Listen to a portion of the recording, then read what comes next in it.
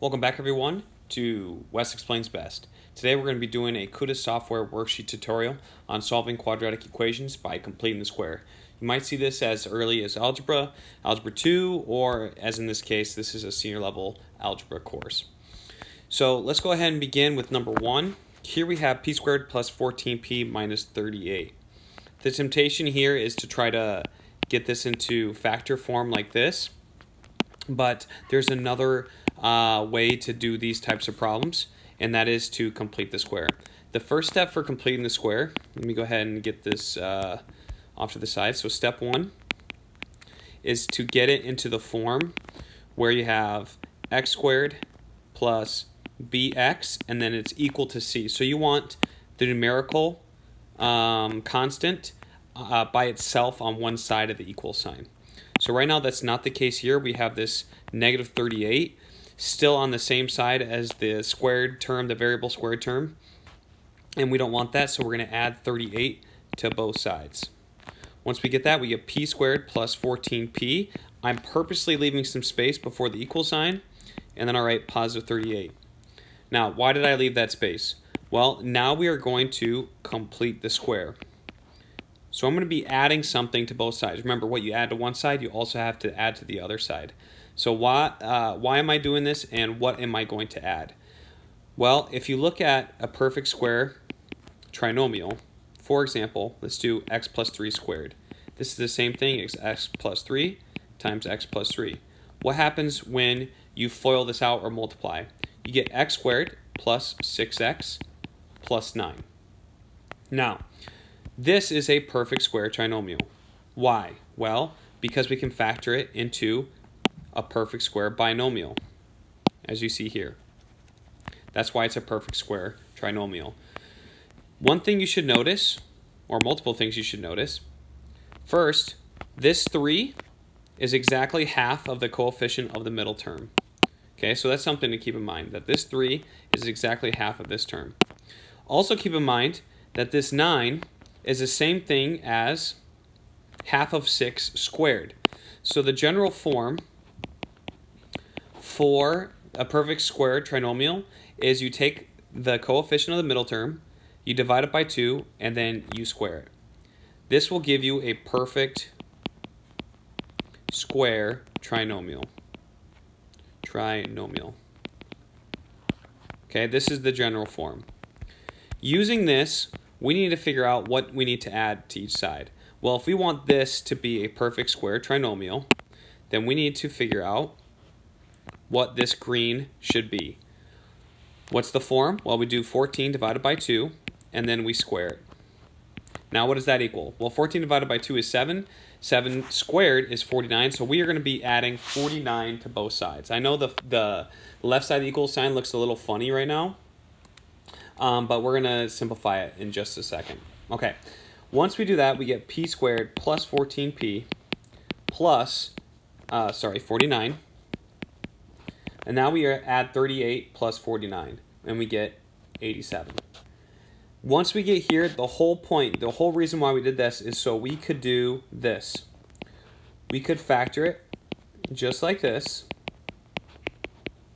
Okay, and this is an unnecessary step, but I just wanted to show you this so you can see that essentially what we're doing is we're trying to get it so we can leave this square, uh, this term squared right here, completing this square and then we should end up with something like this. If you're not ending up with something in parentheses squared equals uh, some number, then you're doing something wrong. Now, this is helpful because now we can just simply take the square root of both sides, and that undoes the exponent here. So we're left with x plus 7 on the left, and now we have plus or minus the square root of 87. Now, 87 is divisible by 3. I'm, this might be able to be factored a little bit further. No. The factors of 87 are 3 and 29, and 29 is prime, so therefore 87 cannot be broken down any further. We're still not done. The x is not by itself, so we need to subtract 7 from both sides. So we get x equals negative 7 plus or minus the square root of 87. So we have two answers. One is negative 7 plus radical 87. And the other answer is negative 7 minus radical 87. Personally, I'm okay as a teacher with this answer. I like that. It's nice and neat. But any three of these are good. Let me get that x in there. And that's how you complete the square. Let's do another example. Okay, let's do number two. Might as well. We're going to try to complete the square. Oh, I didn't write step two. I'm sorry. Step two, complete square. Okay, and we're going to add to both sides.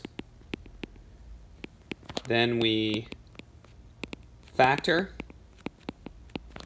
Then we simplify or solve. We should put solve. Okay, step four. So you guys can reference this. You can pause it, take notes, pause it now, take some notes. Okay, we're going on to number two.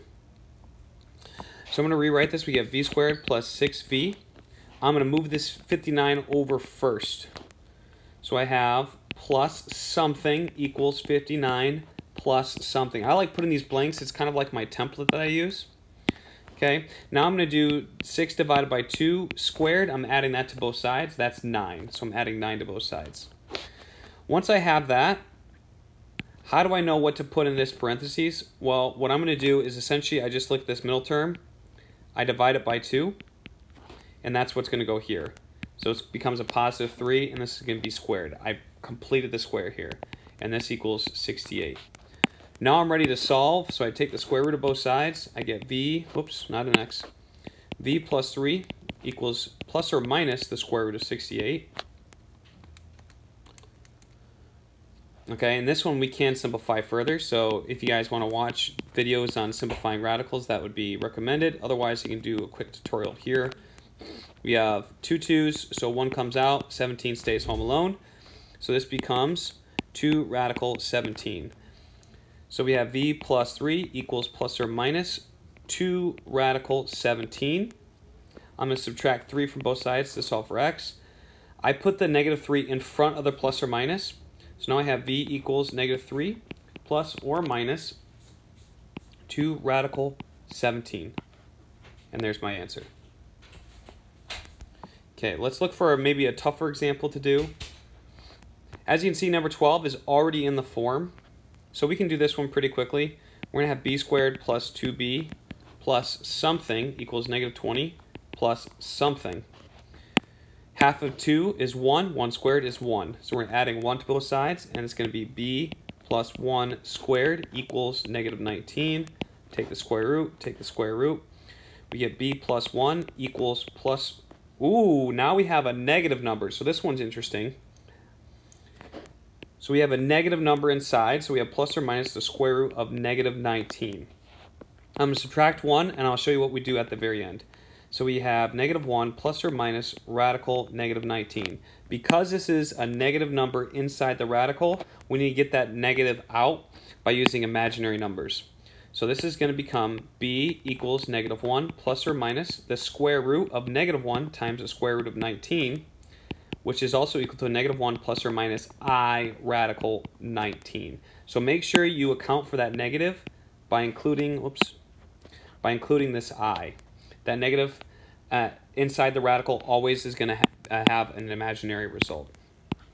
So there's our answer there.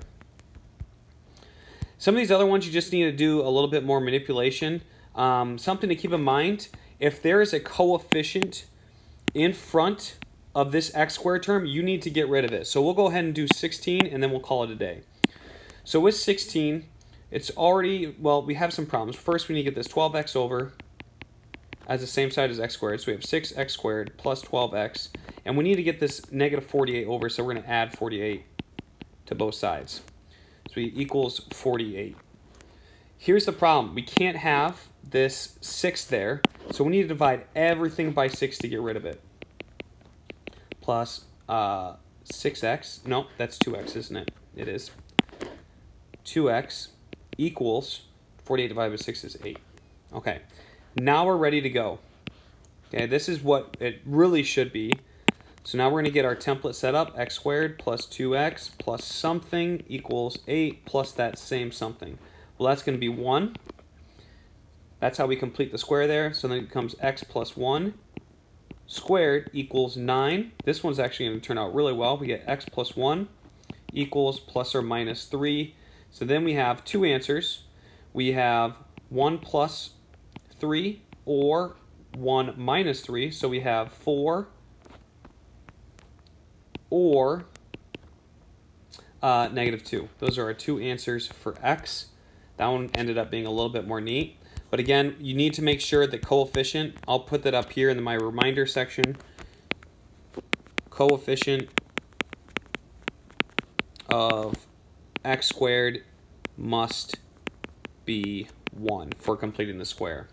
Okay, hopefully this gives you a little bit uh, more information and a little bit more strategy and how to approach these problems.